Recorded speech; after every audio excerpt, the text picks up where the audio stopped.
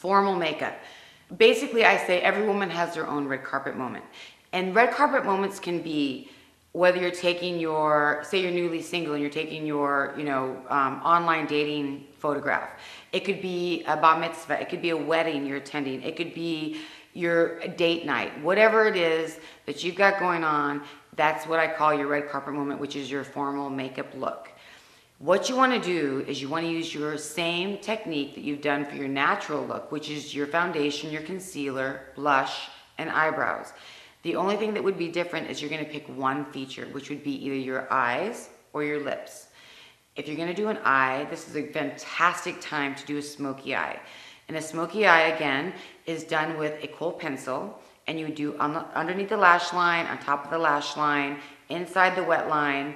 You want to smudge it out with an eyeshadow brush, and then do a little bit of a shimmer shadow on top. It can be anything. It can be from copper to purple to navies to blacks, whatever you want to do.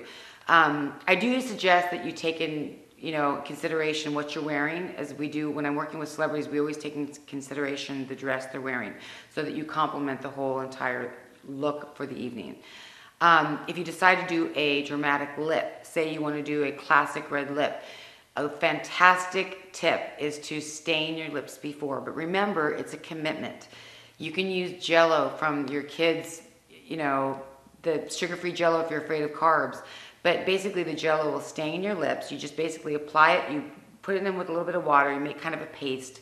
You dab it on your lips, you let it sit for about five to 10 minutes.